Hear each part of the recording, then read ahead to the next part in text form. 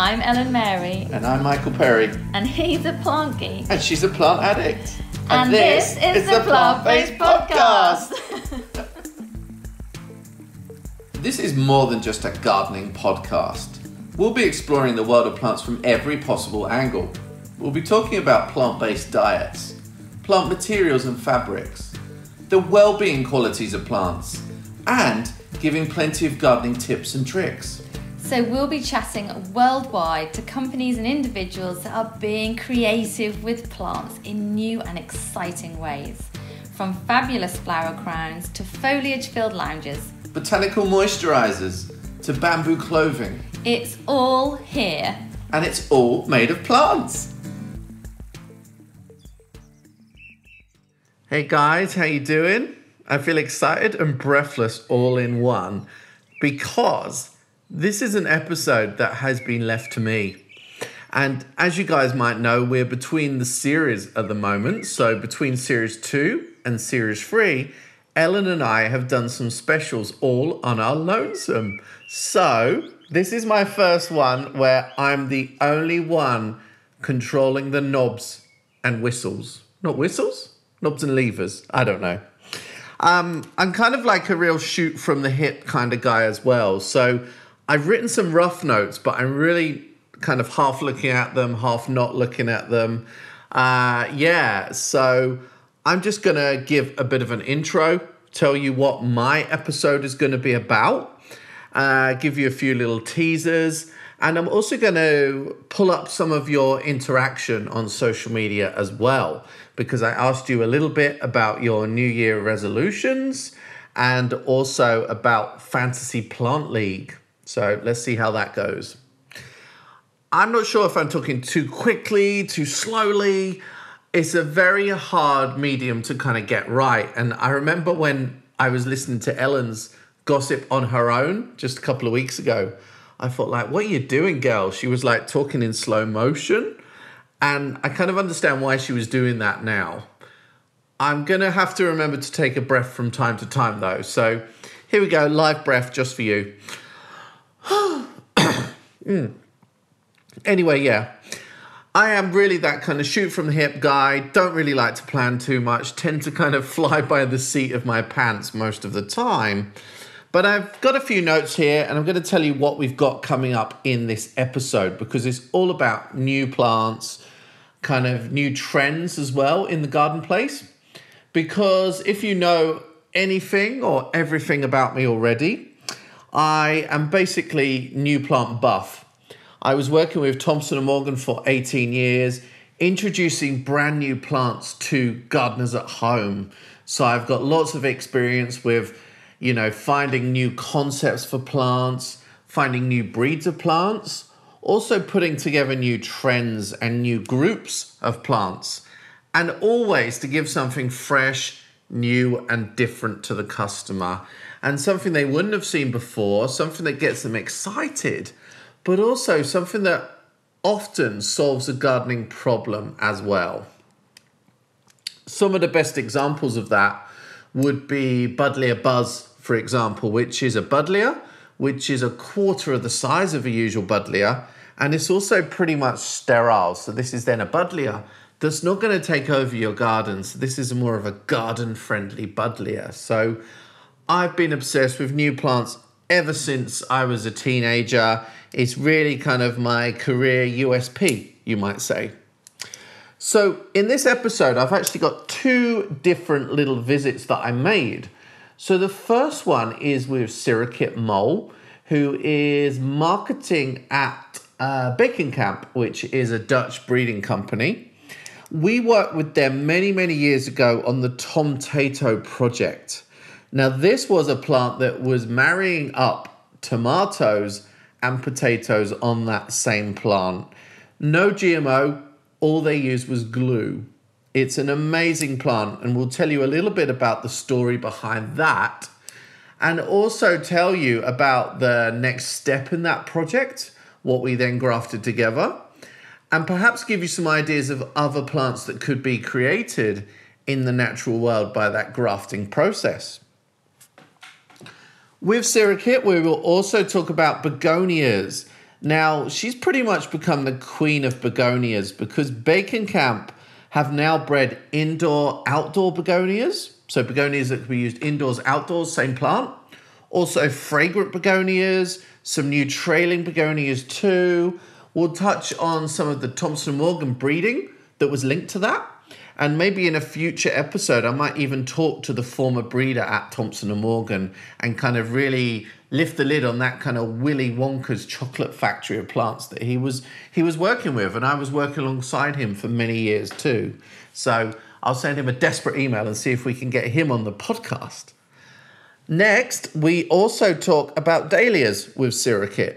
And there's some big changes in the dahlia world that means they're accessible to anybody, whatever space you've got.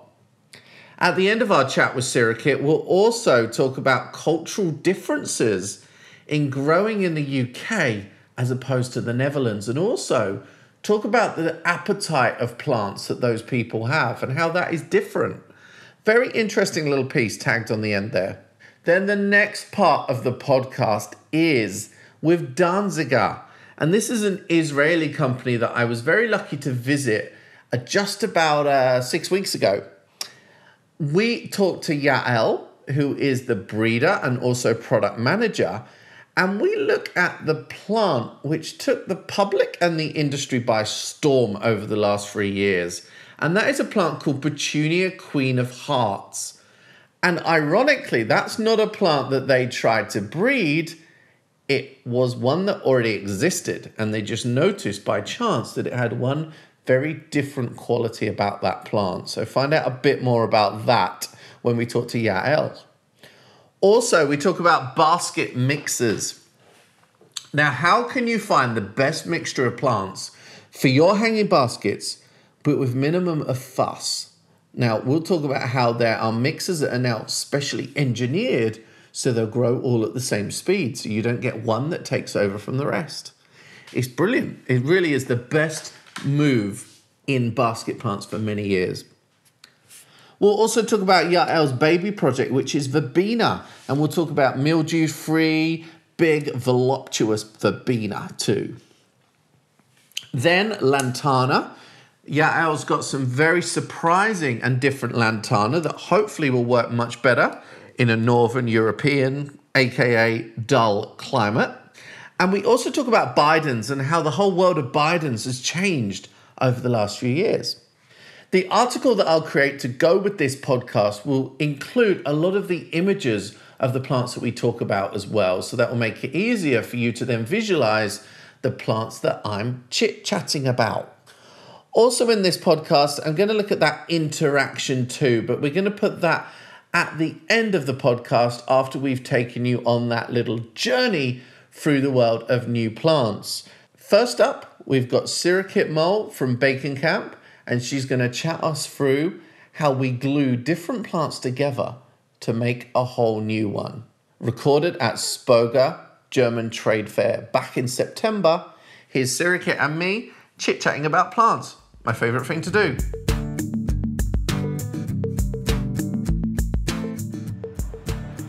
Okay, I'm here with a very good friend of mine who I've worked with for a number of years called Sirikit Mol, and she works in international marketing at the company Beekenkamp in the Netherlands. And we're going to talk a little bit about some of the new plants that she's helped to introduce over the years, also talk about a few projects that her and I have worked on together as well. So, welcome, Sirikit. How are you? Hey, Michael. Yeah? I'm good, thank you.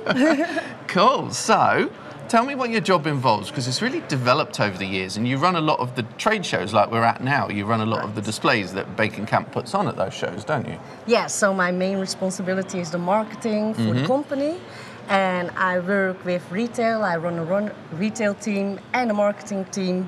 Uh, yeah, for uh, worldwide. So wow. it's really good. That like a it. lot of traveling, yeah.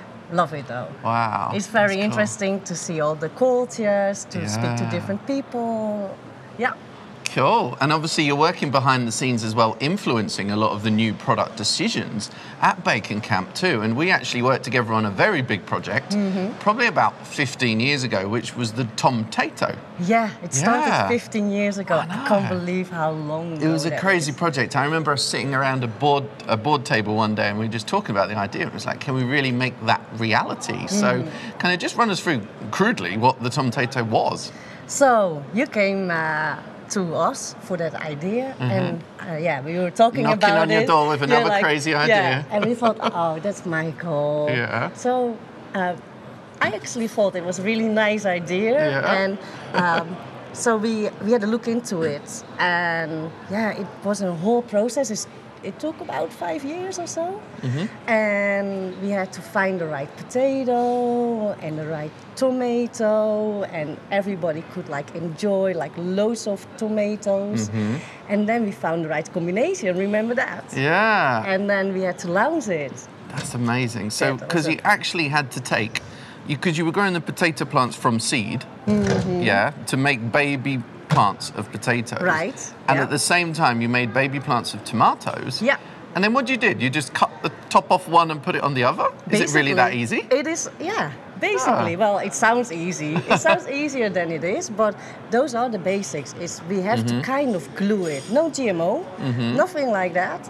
But we had to graft it. It's called grafting. Mm-hmm. So we specialize as a company. We specialize in grafting, and yeah, we made it happen eventually because it took a few years. So you glued them years. together, but they had little pegs on as well, Yeah. didn't they? The baby plants. Yeah. Okay. To keep it together. Wow. And of course, it wasn't just any variety of tomato and potato because this was a concept that had been done since war times, Yeah. wasn't it? Yeah. But what we put was a good cropping potato down there Yeah. and a high cropping tomato. And, That's right. And got a good combo. Yeah. That's amazing. Yeah, it was like the fries and Yeah. the tomato ketchup. Of course, yeah. And when we launched it um, in the US, it was called Ketchup and Fries Plant, Yes. wasn't it? Yeah, yeah. Yeah. And you've It- seen great sales success with this plant now? Yes, absolutely. And still people are, are surprised by it Yeah. and cover coverage, what we had, both uh, you and me worldwide, it was amazing. Yeah, It was oh, really that's good, really it? cool.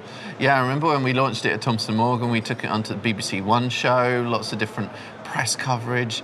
Really cool because it was younger people were talking about it as if it was like Frankenstein food because it was Yeah. something they hadn't seen before that seemed completely crazy. But of course, it is natural, non GMO. No, It just works, doesn't yeah, it? absolutely. Yeah. Yeah, it was, uh, yeah, groundbreaking, I think. Cool. Yeah, hit And- all the media. I know. And then the second part of that project, we were looking at what else was in that family and what, what do we try next? There are loads of possibilities, Yeah. but you have to find the right variety, Mm-hmm. and it has to work. We don't want the consumer to be disappointed Mm. with the results. So at the moment, the tomato still gives the best results. As you know, more than 200, 300 really sweet tomatoes, Mm-hmm. and the potatoes are really nice and fluffy. Fluffy. Everybody knows a t- uh, potato. Mm-hmm. So we want to find something what is really worth it. to Yeah. put in the market. But then next we tried an aubergine, didn't we? Mm-hmm. Did that go well? it, It was- didn't sell that well, but no, it, it was, not as popular. it was probably in my mind more innovative because obviously tomatoes and potatoes have been done for 100 years, but Yeah. nobody had put an eggplant on top of a potato. Exactly. Yeah. Exactly. but people didn't really know it, and the Yeah. aubergine, I think, as well at the time was not that. Yeah, I, yeah. If it was now, actually, with I the vegan so. movement, it might be a little bit different. Yeah. Hmm, interesting. But of course, as you say, there's a lot more that can be done in that family. We don't want to give too much away, but if you look up all the plants that are in Solanaceae family, You it's possible to blend those. choice there. Yeah, so. Okay, so that was an edible that we've worked Mm-hmm. on together. How about begonias? Because you're big in begonias at Beekenkamp, aren't you? Yeah, I think uh, begonias is one of our, it's our passion, but also Yeah. one of the biggest crop for us. And we do like the upright begonias, we have our dreams begonias. Uh, Mm-hmm. We are breeding and developing the begonia for the new generation. Mm-hmm. So you can put it indoor and outdoor and it will flower till the, till the first frost.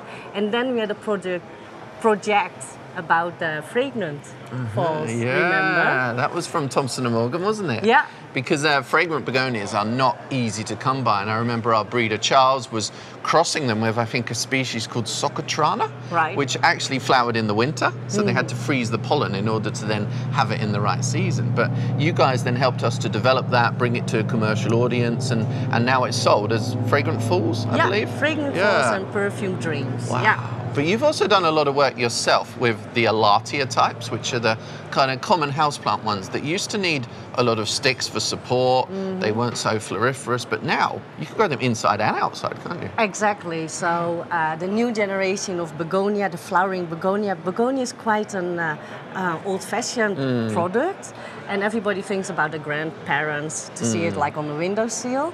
Um, but we want to have the begonia, which has like loads of color, um, is vigorous, it's growing the whole summer through, can stand shade or Mm. sun. And um, yeah, we won recently a prize for it as well. Oh, the. Fluoro, uh, Fluoro Awards and Was that with the new red one? Yeah. Yeah. the Macaroons and the Macaros. Haha. So that is for us also gr- groundbreaking that only one plant gives such a fills such a big pot. Wow. So you're giving consumers a lot more, not necessarily more choice, but more choice within the different plants. So they're actually able to be grown in different areas. They're more weather resistant, resilient. I love what you've done with dahlias as well, because you've got this shorter Mm-hmm. patio range with mm-hmm. cactus flowers. Yes, they're gorgeous, aren't they? Yeah. What's the range called? So it's the Labella series. Yeah. And we have several sizes, and as we say, like from big to small, we have it all in the mm. dahlias. And we are developing the dahlias so people can still enjoy them. And you mm-hmm. know, when you have like those cacti, cactus flowery type, or just the normal dahlia type, you can put them on a patio, beautiful. When they mm-hmm. are in full flower, and you think like, mm, maybe I want to get rid of a few because there are too many flowers, you can just cut them off and put them in a vase inside. Wow, that's brilliant. So Yeah, if you haven't got a garden, you can still grow some of the biggest and best dahlias. Oh, yeah. You're Yeah. giving gardeners like more options. It's amazing. I love that. Yeah, we are looking into the world is changing, and and the plant business. Uh, yeah, people have a certain thought and presuming about what I say about the begonias for your grandparents, and we want to bring new life into it because we really feel it's worth, and we want to have plants where the cons- consumer can enjoy it the whole time.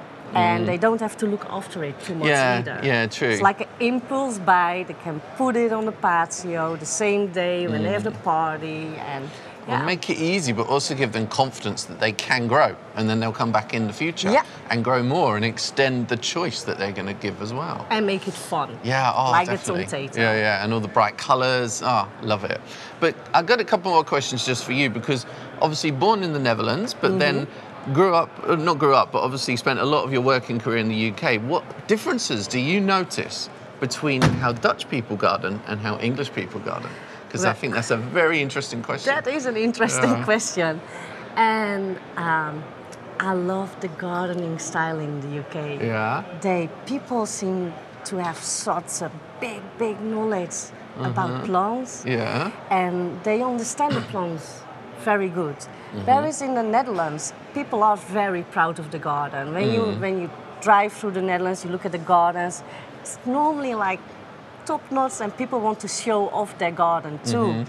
Um, so yeah, there is there is a difference in style and how they fill in the garden, but still the love and the passion for the plants is for both countries Yeah. quite the same. Okay. Yeah. Because yeah. Dutch gardens are always really kind of uniform and tidy looking, Yeah. which is nice in its own way. very organized Yeah. kind of thing. But then English gardens tend to have this real kind of lackadaisical kind of like Yeah. organized chaos. Yeah, and I love it. I, I love both, to be honest. Yeah. Oh. But what about the type of products? Like what products would do well in the Netherlands versus UK? yeah, you see in the UK that uh, you have still more the traditional varieties because Yeah. people do remember the name. Yeah. And, it's hard to make them move on sometimes. Mm, sometimes Okay. um, I feel that there are better products on the Mm. market, better varieties. But you know, I also still respect the love and the passion and the knowledge from the gardeners. It just takes a bit longer to switch them on to new varieties. Yeah. Whereas in Holland, people are looking at new ideas, embracing them a lot quicker, would you say? Um, Yes. Yeah. Yeah. uh, yeah. I, think guess because it. they see more of the industry, it's a lot more visual to them, isn't it? Yeah, and, and the Netherlands is very well known for the flowers and plants, so Hmm. they they get educated a little bit differently about Mm-hmm. it than in the UK, I think. Okay. yeah. Excellent. Cool. Well, thank you. It's been great to work with you over the years on all these new intros, and I love what you guys do as a company, and you're really like changing the look of our gardens, not just in the UK but across Europe. So thank you. Well, thank you. No problem.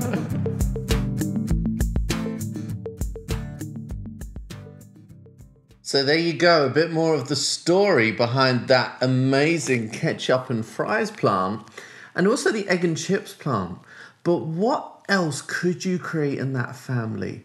Have a little think about what is in Solanaceae family. So you've got peppers, aubergines, tomatoes, potatoes, but also some flowers as well.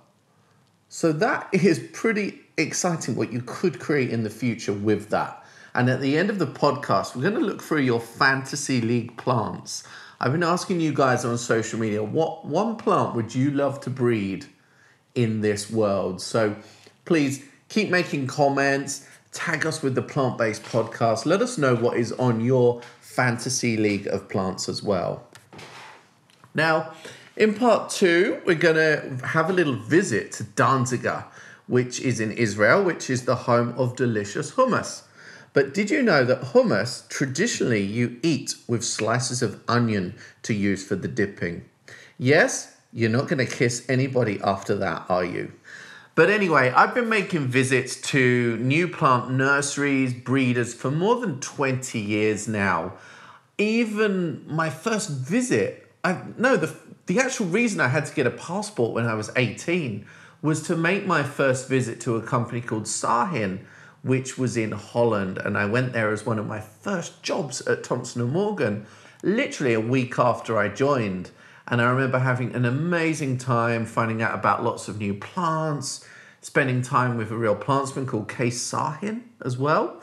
Not sure if anybody out there from the industry is listening and remembers this guy. He was incredible. He was fueled by pink champagne, and we used to drive around until until dusk, you know, hunting down new plants, or he was showing me his peony beds. Absolutely amazing trips.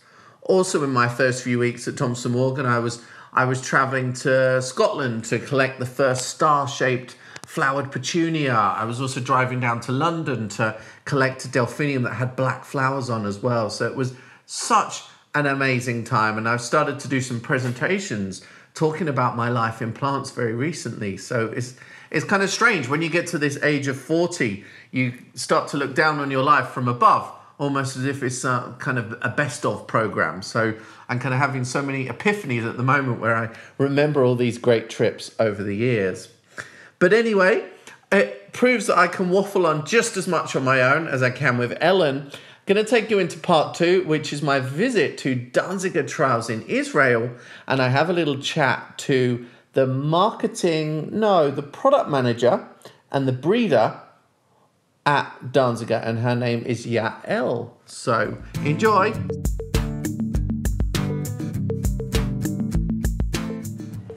Okay, I'm here with Yael, who is working at Danziger as the product manager, formerly a breeder, and I'm going to find out all about the world of new plants. So we're starting off with one of my favorites, which is Petunia Queen of Hearts, which wasn't actually bred to have a heart in the flower, but it actually has five hearts in each petal. So I'm going to ask Yael about the whole story of breeding at Danziger, kind of about you and your heritage, your career. So yeah, let's kick off. So give us a quick introduction to your role here at Danziger. Okay, so I've been working at Danziger for about three and a half years. Previously, I was working at a breeding company, a seed breeding company. It's called Hazera. Uh, I've been there a geneticist, and also I- I've been helping with the breeding. Uh, since I came to Danziger, I've been a breeder. I, I'm breeding verbena. Uh huh. And uh, for the past half year, I started being uh, started the job of uh, product manager. Uh huh. It's a new role here in Danziger, so Okay, so you're still breeding as well, or you're Yeah. moving across? Okay, so you're trying to do a dual role job. yeah, which is starting. yeah, but that's quite fun because actually, you're breeding the plants that you're then looking to go on and develop Yeah, yeah, and market, exactly. which is really nice. Yeah, so I'm also involved in the Uh-huh. breeder in the breeding process for all the breeders. Yeah. Okay. So the plant we're looking at right now is Petunia Queen of Hearts, which is kind of, I think this has become Danziger's flagship product, Yeah. and it's become so popular. Yeah, she's not just in the industry, but with the public as well. Yeah. Explain this because it, it wasn't intended to breed it that way. Who spotted the heart? How did that come about? Uh, well, it was our uh, marketing manager, Yeah? previous marketing manager, that yeah, that she saw the heart. Yeah. Um, you're right. We liked it first because of very good habit, Mm-hmm. very strong uh, plant performance. We like the, the colors, we like the shape of it. But then they they told us about the heart. Mm-hmm. Yeah. So yeah, it's a um, very very strong plant. That's cool, and it really proves to me that new plants are not always brand new breeding. Sometimes it's a different way of looking, Looking, at a plant we already know. Exactly. And of course, that range is now built into kind of about five different varieties now, Yeah. all with the heart. Yeah, Yeah. and we have different uh, uh, varieties of uh, colors, but uh, Mm-hmm. they all have the same habits, the same performance, flower the same time. Ah, okay.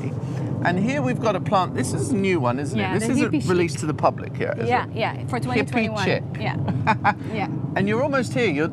I see what you're doing here. You're selecting for a different shaped kind Yeah. of pattern on the yeah. bloom again. Yeah, we're always looking for difference, for something new, to be innovative. Yeah, it's really, it looks kind of high res the way it kind of makes the Yeah. purple in the center yeah, stand yeah, out. it stands out. Yeah. Whenever you go to uh, exhibition, this one stands out. I would almost call that the seashell, seashell petunia though, because of how that edge is. Yeah, Really, really yeah, beautiful. Yeah, it's really different. But what else have we got in petunias? Because are you selecting for fragrance as well? We're testing fragrance. Mm-hmm. Uh, we still don't have a product in that area, but we are testing it. Uh, we're standing now in front of the Capella, Aha. which is our uh, favorite uh, uh, series. Uh-huh. The specialty of the Capella is that it starts small, Mm-hmm. so it's very convenient. It's good for the greed- for the growers, Okay. and then it's very good for the end consumer because Uh-huh. it continues growing. Usually, when something is compact, it stays compact. This Uh-huh. is uniqueness. It starts compact, but then keeps on growing. Okay, that's cool. Yeah. And obviously, fragrance is coming usually in the purple. So the purple in that range has got the, the fragrance, I guess. No. No, a Not little so less weak. Okay, and then there's one here which caught my earlier, caught my eye earlier, which is a bit camouflage. Where is, where's that one, the greeny one? Ah, the pistachio. Yeah, because it almost looks like foliage, doesn't yeah. it? It's very, very, very special. Yeah. It's also an eye catcher in uh, exhibitions. Yeah. Wow. Yeah. But I think this would be a real. Do you know what I mean when I call something a marmite plant?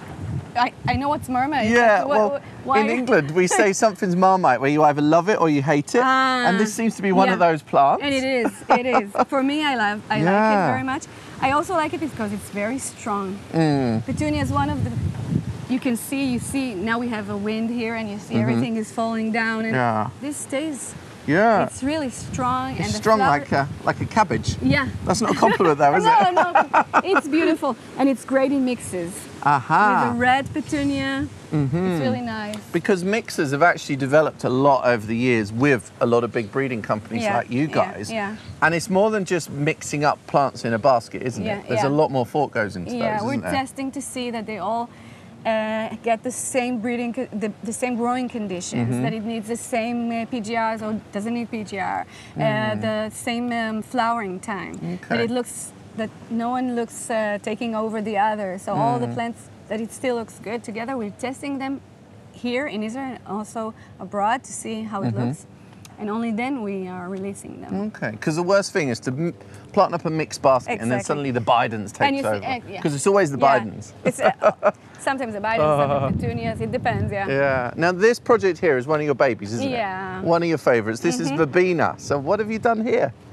So our Vanessa, Mm-hmm. uh, the flag of the our Vanessa is that it's uh, powdery mildew resistant. Mm-hmm. Okay, so all of our varieties are tested for powdery mildew. We're inoculating them and testing to see the resistance, both Mm-hmm. here in Israel and abroad.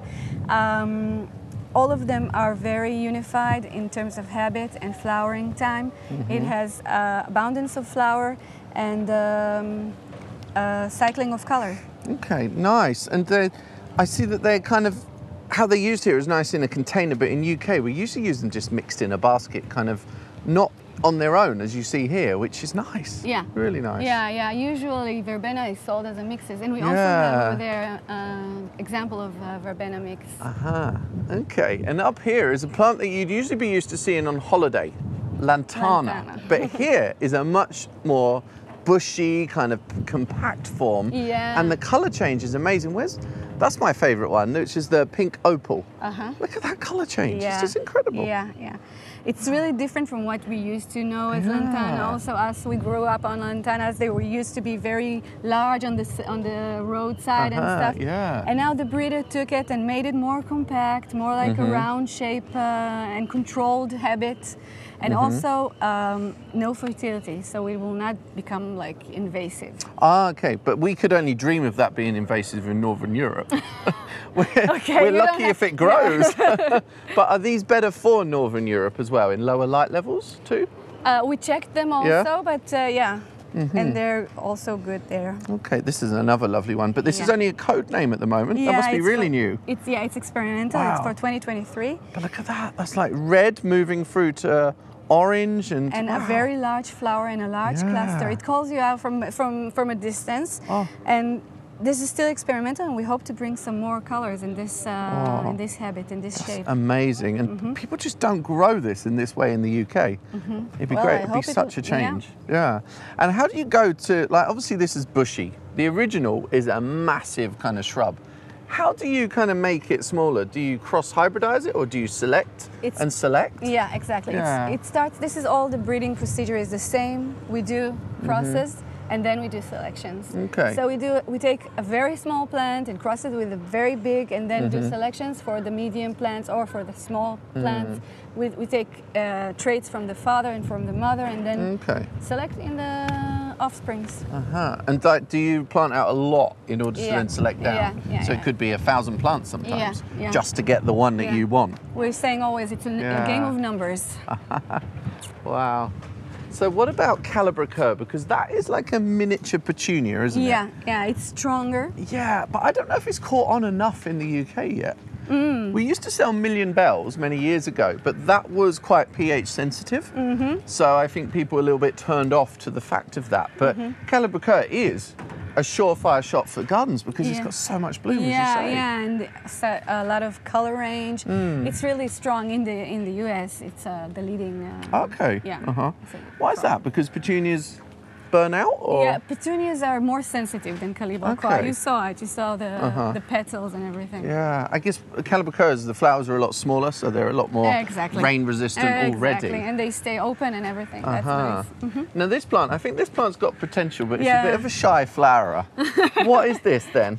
Yeah, well, now it's not the time for it. Yeah. So this is why it looks like that. I can tell you that I've seen it in full bloom. Mm-hmm. It's like a ball of gold. and it's Jamesbrittenia. James Britannia, Which kind of crudely is a kind of coloured in Bacopa.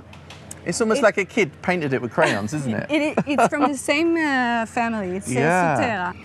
Mm-hmm. yeah. Um. So Jamesbrittenia has a bad reputation, Mm-hmm. but we hope to restore it uh, because uh, we have selected for uh, varieties that don't have problems in rooting. Okay. So Mm-hmm. uh, we hope to see uh, Jamesbrittenia coming back. Yeah, so the reputation there is about its rooting and production, not Yeah. necessarily as a garden plant. No, so no. I think people need to realise that a good garden plant needs to be good at every level of the journey, doesn't For it? It needs to root for well, it needs to grow well. Yeah, yeah, exactly. It's not it's not just one part of it. It's very complex Mm-hmm. to get it right.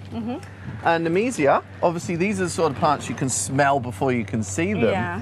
And you've selected some great shorter dwarf varieties Mm-hmm. here. Do they flower well through the summer? They don't burn out either? Yeah, this is what we selected for. These specifically are Mm. for late in the season. They start in the spring, late in the season, and then go into the summer. Mm-hmm. Wow, nice. And I love these marbled ones here. What's that? Tutti frutti. Tutti frutti. Cool. And the fragrance is just like Yeah. vanilla, Yeah, isn't it? it's strong, Oh, yeah. Very special. It's strange because they never used to sell very well in mail order because when you've got a picture of a Nemesia on the page, it just looks like a big cloud.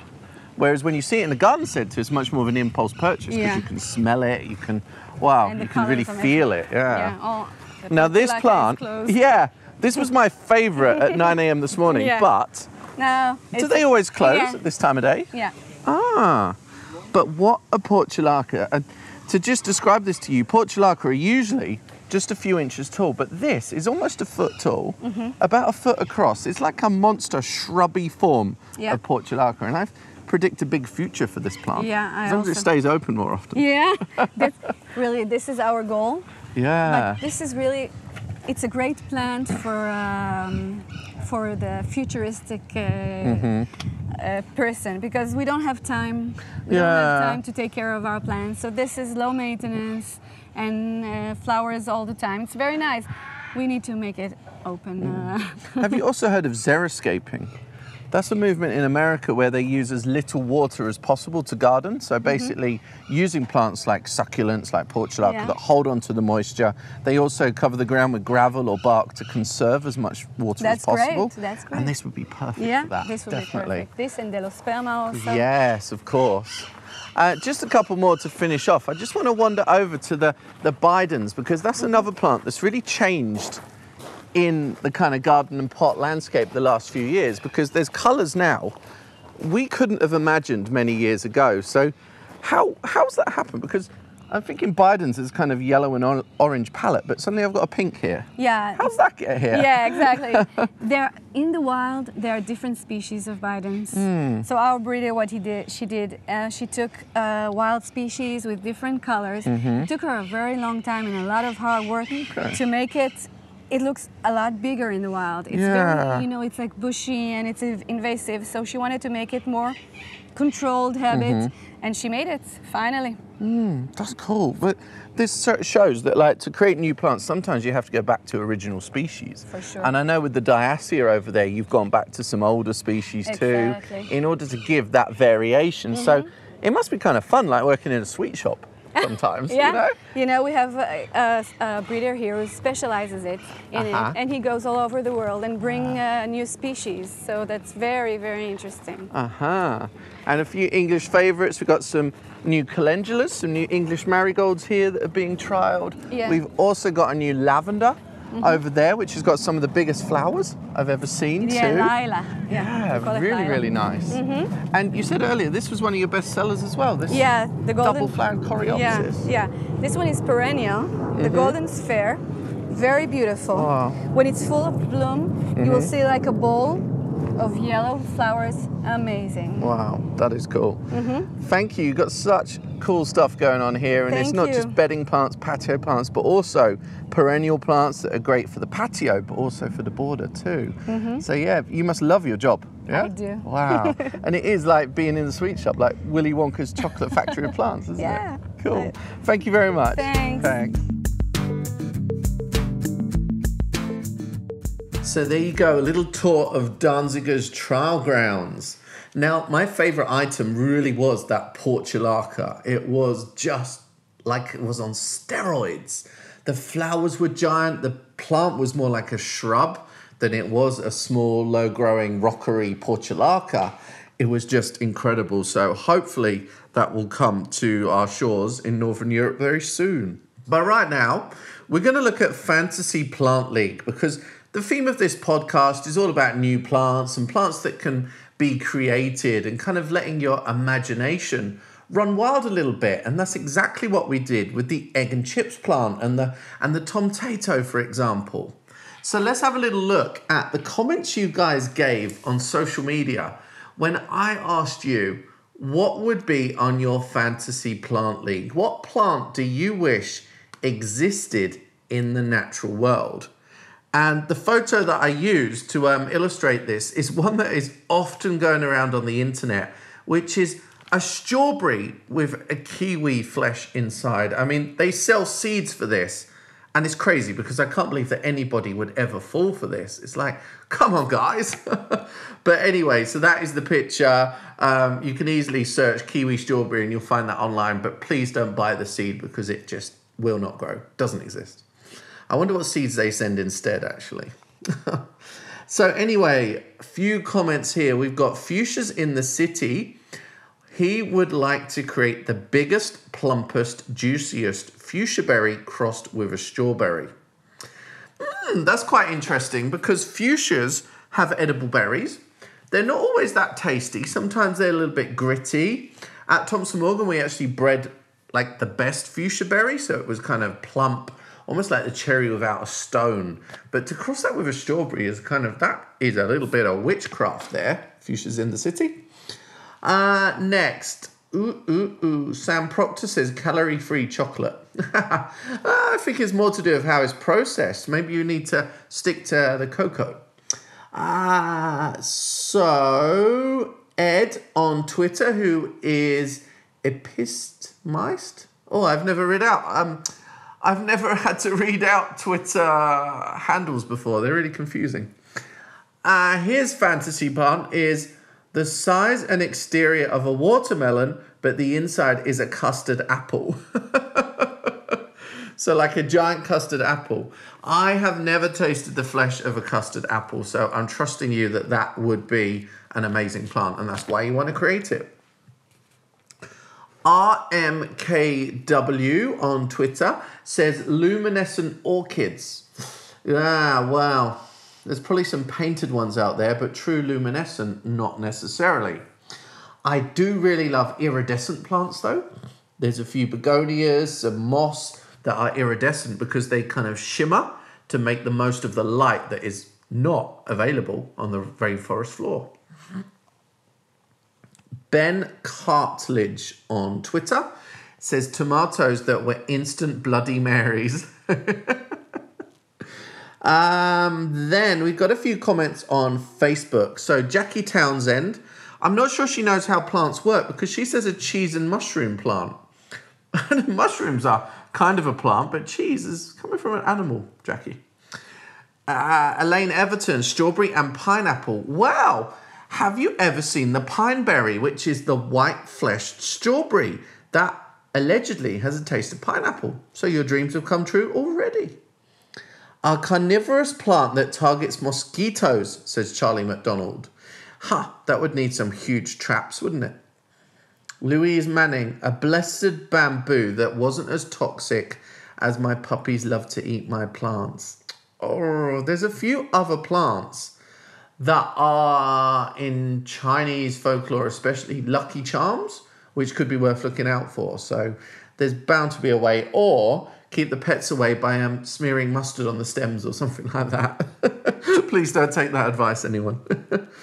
uh, Kirsty Finlay says peach and mango. David Middlehurst, friend of mine, says a beer plant. He obviously hasn't heard of hops. Nigel Kite has a really good idea, which is a dierama whose flowers are fragrant like a strong dianthus. Nice idea. Lisa MG says egg and chips plant. Been there, done that.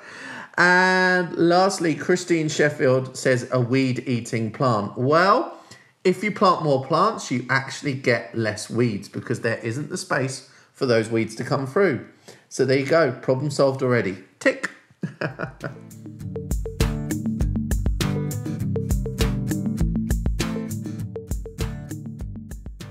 so, yes, we are a few days into the new year. So, I asked you guys on social media what are your new year resolutions when it comes to gardening?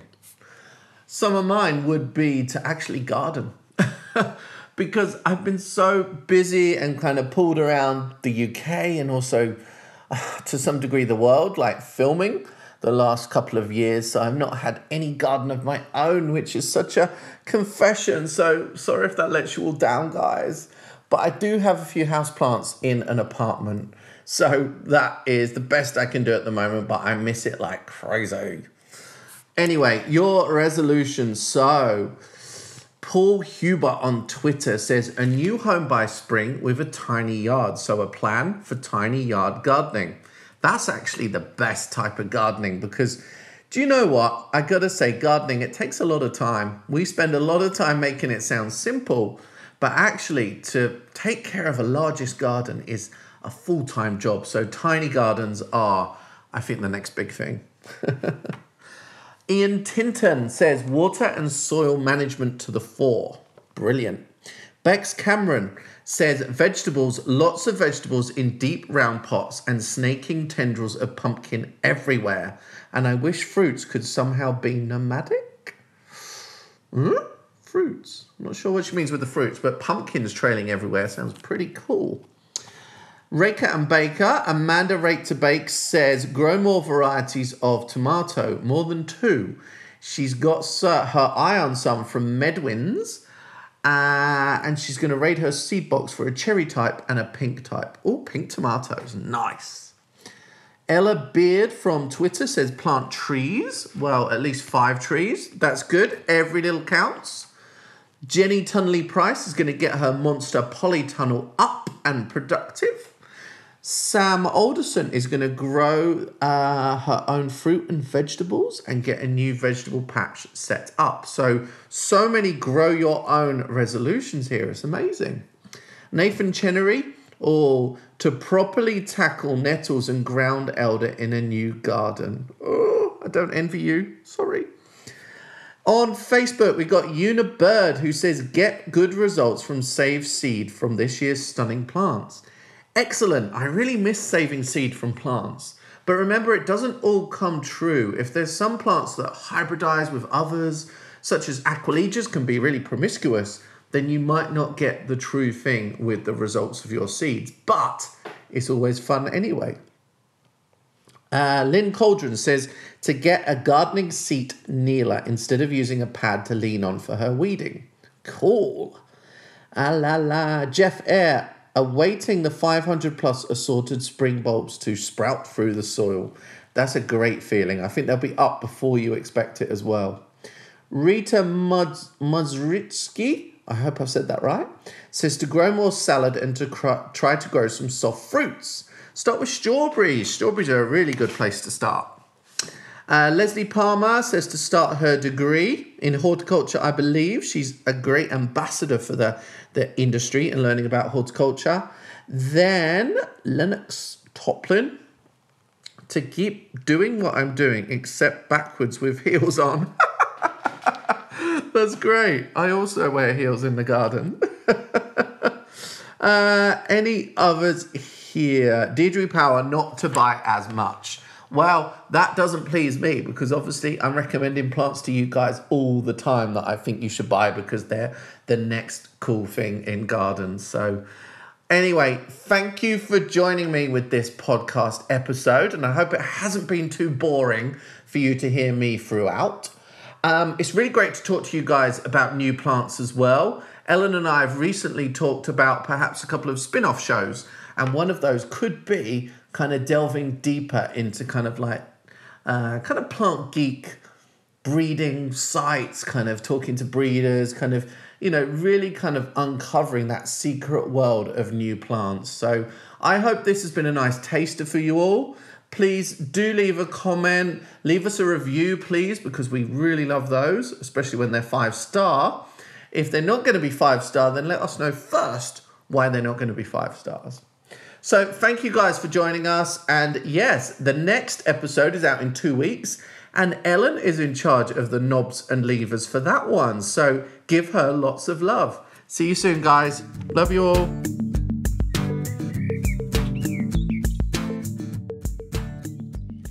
Thank you so much for listening to this episode of the Plant Based Podcast. Have a browse of the rest of the library or hop on over to the website, which is theplantbasedpodcast.net. You'll also find our social media links. Please connect with us and let us know about any plant based projects that you think we should be covering on the show. And make sure you subscribe to our podcast so you'll be the first to hear the next episode. We're releasing once a fortnight. So until next time, enjoy the world of plants.